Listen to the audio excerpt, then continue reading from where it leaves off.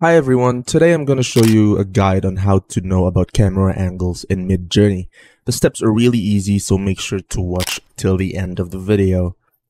So first is we're going to start with a prompt of a photo of a woman in New York. So we're just going to type in that.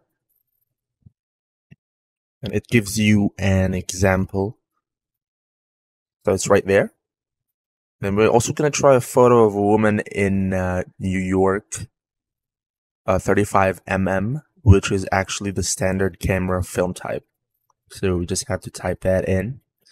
So I'm going to add the view that we want. So for this, we're going to do side view. And it gives you uh, women with a side view angle. So now to explain more about uh, camera angles, um, we're gonna proceed with different kinds of angles. First one is uh, the low camera angle where the camera is at the bottom of the woman. Center camera angle where the women are looking at us directly. Portrait for portrait angle. Another example right here. So the camera right angle if you want a right angle picture.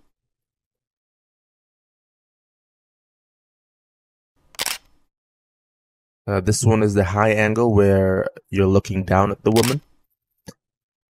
Camera left angle for left angle. You're very free to explore lots of prompts on Midjourney, so you can just put the prompt that you want. So let's just type in Imagine prompt. A photo of a woman in New York, 35mm natural light with aspect ratio of 9 is to 16 and high camera angle. So you can actually change any of these. Right now, I'm just going to change to full body and click enter. And it's going to give you the picture that you actually want. So that's how easy it is, guys. So make sure to like and subscribe to the video if you understood and if this helped you.